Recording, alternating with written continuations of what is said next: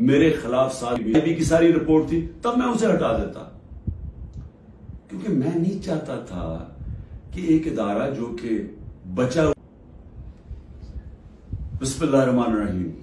میرے پاکستانیوں مجھے آج خوف ہے کہ پاکستان اس راستے پہ نکل گیا ہے جو ہمارے ملک کی تباہی کا راستہ ہے۔ اور مجھے خوف آ رہا ہے۔ کہ اگر ابھی حکمت نہ استعمال کی گئی، اگر ابھی اپنے عقل کا نہ استعمال کیا، تو ہم شاید وہاں پہنچ جائیں جدھر یہ ٹکڑے ہم واپس جمع نہیں کر سکیں گے اپنے ملک کے۔ میں سب سے پہلے آپ سب کے سامنے ایک چیز رکھنا چاہتا ہوں کہ سب کے پیچھے ہے کیا؟ یہ جو ایک سال سے ایک افراتفری ملک میں مچی ہوئی ہے ایک پورا زور لگا ہوا ہے کہ کسی نہ کسی طرح عمران خان کا راستہ بند کیا جائے۔ کہ یہ ملک کے لیے بہت برا ہے، اس کو نہیں، اس کو نہیں آنے دینا چاہیے۔ اگر الیکشن بھی نہ ہو، آئین بھی ٹوٹ جائے، کوئی سپریم کورٹ کو بھی ذلیل کیا جائے، لیکن اس کو نہیں آنے دینا۔ اس کے پیچھے ہے کیا؟ میں ذرا آپ کو پہلے یہ گراف دکھا دوں۔ یہ یہ جو آپ کے سامنے ہے، یہ ذرا گراف دیکھیں۔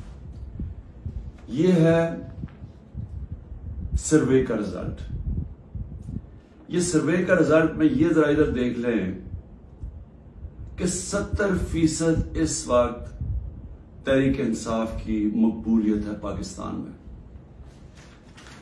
باقی ساری پارٹیز کی ملا کے بھی تو جو مقبولیت ہے، ان سب کو اب خوف ہے کہ الیکشن اگر آ گئے تو یہ ہار جائیں گے.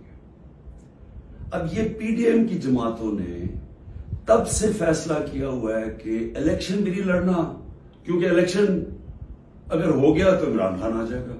اور اگر عمران خان آ گیا تو ان کو یہ نہیں فکر کہ ملک کو اچھا ہوگا یا برا ہوگا۔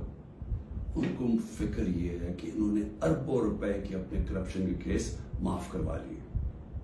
اور ان کو ڈر یہ لگا ہوا ہے کہ جو تیس سال سے محنت سے انہوں نے پیسہ چوری کا کٹھا کر کے باہر رکھا ہوا ہے، کسی طرح اس پیسے کے اوپر یعنی وہ محفوظ رہے۔ اور خطرہ عمران خان سے، کیونکہ باقی تو سب ملے ہوئے۔ اب اس کی وجہ سے یہ سارا ملک تباہی کے راستے پہ جا رہا ہے، کہ صرف اس خوف سے کہ ہمارا آپ پیسہ نہ یا کہ این آر او نہ واپس لے لے، بس۔ یہ وجہ ہے کہ یہ آمنے سامنا کھڑا کر رہے ہیں ملک کی سب سے بڑی جماعت اور ملک کی فوج۔ اور یہ کامیابی سے یہ کر رہے ہیں، کیونکہ یہ پرانے تیس سال کے پرانے سیاستدان ہیں۔ یہ جا کے وہاں ڈراتے ان کو کہ سر وہ آپ کو ہٹا دے گا آ کے میں بار بار کہہ بیٹھا ہوں کہ میں اداروں کے اندر انٹرفیئر نہیں کرتا۔ میں کہہ بیٹھا ہوں، بار بار پیغام پوچھا بیٹھا ہوں۔ لیکن وہاں سے ڈراتے جی آ کے ہٹا دے گا آپ کو، فوج میں انٹرفیئر کرے گا۔ اگر انٹرفیئر کرنا ہوتا جب مجھے پتا تھا کہ پچھلا آرمی چیف میرے خلاف سازش کر رہا تھا آخری مہینوں میں، مجھے آئی بی کی ساری رپورٹ تھی، تب میں اسے ہٹا دیتا۔ کیونکہ میں نہیں چاہتا تھا کہ ایک ادارہ جو کہ بچا ہوا ہے، باقی اداروں کو تو انٹرفیئر کر کے ہم نے تباہ کر دیا ہے۔ میں یہ نہیں چاہتا تھا وہ تباہ۔ اور میں آج ذرا پہلے تو یہ پی ڈی ایم کے اوپر بات میں آتا ہوں، میں ذرا فوج کے اوپر بات کر لوں دیکھیں، میں نے ساری دنیا میں اپنی فوج کا کیوں دفاع کیا؟ کیونکہ میرا تو انٹرنیشنل تھا۔ میری تو آواز باہر جاتی تھی۔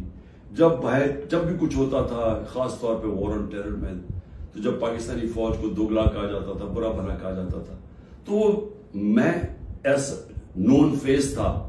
تو مجھے یہ C N N B B C کتنے میرے انٹرویوز کیے؟ آپ میرے سارے باہر انٹرویوز سنے۔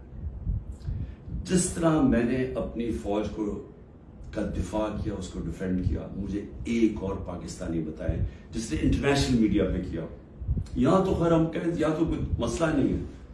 باہر، جدھر پوری ایک باہر کی لابیز بیٹھی ہوئی ہیں جو چاہتے ہیں کہ پاکستان کی فوج کمزور ہو، انہوں نے پوری کیمپین چلائی ہوئی تھی۔